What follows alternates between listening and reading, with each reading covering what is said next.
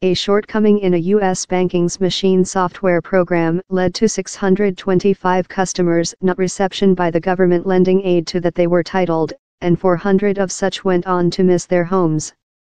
The by the government schema was intended to assist human beings fighting to pay their mortgages. Yet, reimbursement is creature proposed. The banking has set towards $8 million, pound 6 meter, to offset such struck by the software program mistake that existed among April 2010 and October 2015. The banking is the tertiary greatest in the US. It did not recognize to any offense.